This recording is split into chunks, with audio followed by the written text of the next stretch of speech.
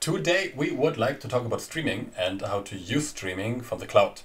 And that's why we set up an, an instance in the cloud, an Amazon instance in the cloud, where we have a running VRED session installed. And we would just to briefly explain on how the workflow can be when having um, the VRED instance set up in the cloud. Yeah, we have here an Amazon Cloud instance running. It's uh, a P38X large instance, and uh, I connected to it via the Windows Remote Desktop protocol. And what we did, we installed VRED and we loaded this beautiful Skoda already.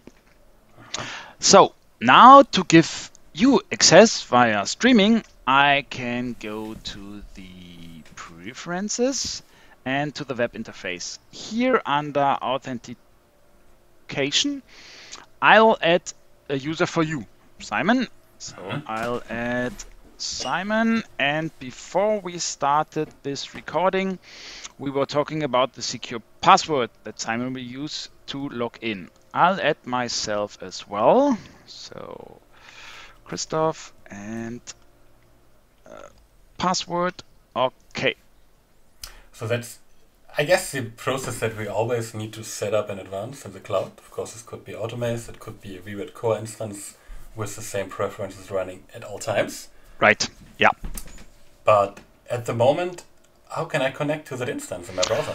You go to the IP address, uh, this one. So that's the IP address of the Amazon Cloud instance. It's 3.238.57.184. And the port okay. we use is 8888, so 4 times 8. Okay, so I need a column like these two points and four times the eight, and then. I. Okay, now I get asked what's my username and what's my password. So I guess my username is Simon and my Simon password is and the password. The password. complicated one from earlier. Yeah. And then I press on the sign in button. Ah, perfect. And now it seems to me that I'm connected to the VRED web server. So it looks yeah. exactly the same as if I would type in on my computer localhost followed by the port. Right. And now I'm opening the stream app.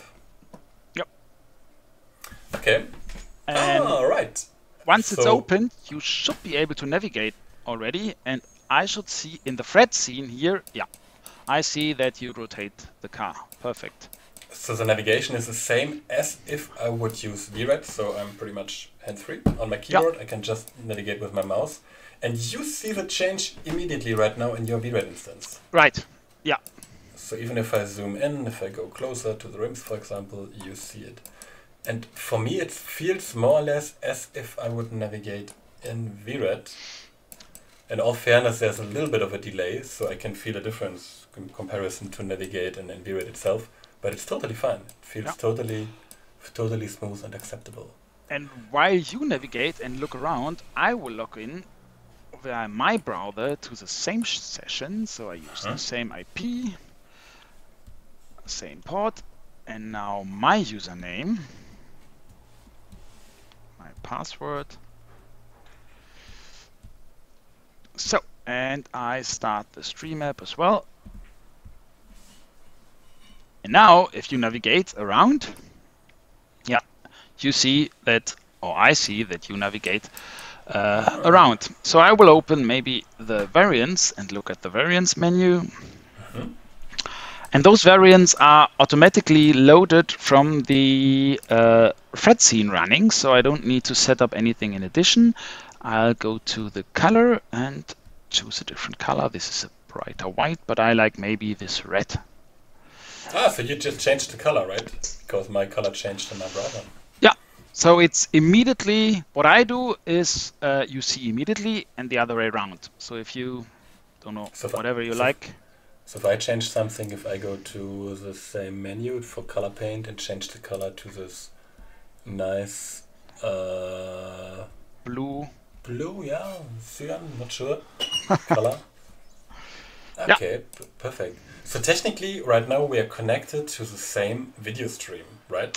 Yeah, running in the Amazon cloud. We both have a browser on our mm-hmm. desktop mm -hmm. and are connected to this Amazon cloud so instance in theory, we could open this um, stream multiple times. So I could open it probably on another device, on another browser window, and we are all seeing exactly the same. So whenever I change something here on my computer, or on my browser, you will see the change immediately on your computer, no matter what I change. Right. Right? So I guess we could just, right now we're using a desktop computer, or maybe you're using a notebook, I don't know, but this should then also easily work with a mobile device from everywhere, right? Yeah, exactly. So it's just the browser, so we could open the web page on our mobile phones. And I, I'm gonna try it out, maybe. Yeah, you- let's do this. So the So just use my mobile phone. is three. Ah, and you see, I'm connected to the Stream app at the same time. I'll connect as well. Two three eight. Uh-huh. Need to authenticate again. And then I'm actually connected to the stream. And right now I'm navigating on my iPhone in the browser. So I'm zooming in, zooming out. And at the same time, at the same time, we can see that the browser that I'm looking at is changing also. Yeah, right now I connected as well, so you can see here on my phone in the camera that now it's green, and if I choose red, now on my desktop browser it turns red in the iPhone window as well. And you can navigate, you can navigate on the in the browser window, you can navigate here. If you use your finger like this, that Mhm. works as well. Cool. So, technically spoken, right now, um, to summarize it, we are setting up an instance in the cloud. We Yep. provide access to this link. We can use different security methods. In this case, we use the password authentication. Uh, there are more um, security methods implemented into VRED as well. And then we can just share the link for giving access to the stream.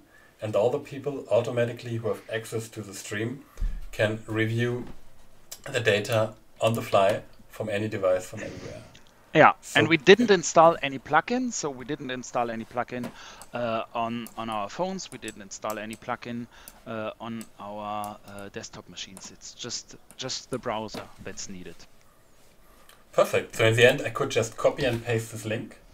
I could just um, copy and paste it to an email over here, type in the link, send the link to another person, and he just needs to open the link. And as Yeah. long as he has the right password and the right username, he could just connect to the session.